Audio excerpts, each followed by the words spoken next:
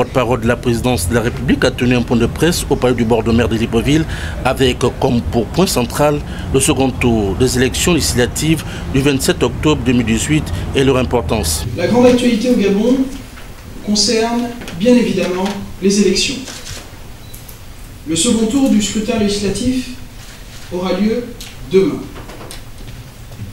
Je voudrais simplement vous rappeler quelques éléments.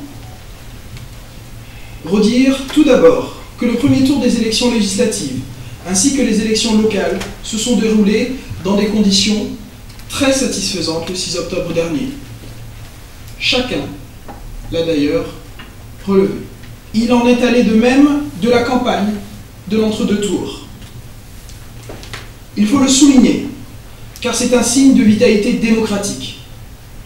Aucun incident grave n'a été relevé et il faut s'en féliciter. Il faudra également prêter un œil attentif au taux de participation, même si, il faut toujours le rappeler, celui-ci doit être mis en regard par rapport au scrutin précédent de même nature. Suivant le principe bien connu, il faut toujours comparer des choses comparables.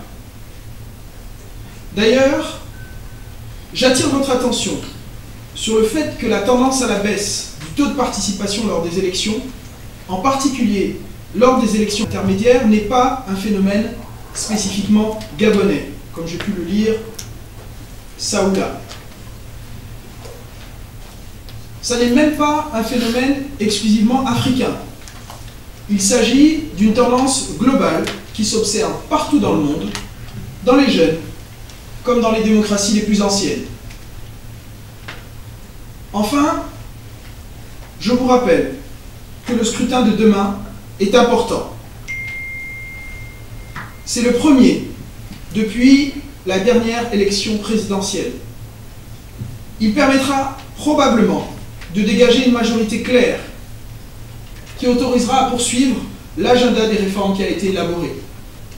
À rappel, le parti au pouvoir avait déjà obtenu 84 sièges sur les 143 à pouvoir au premier tour de l'élection du 6 octobre dernier.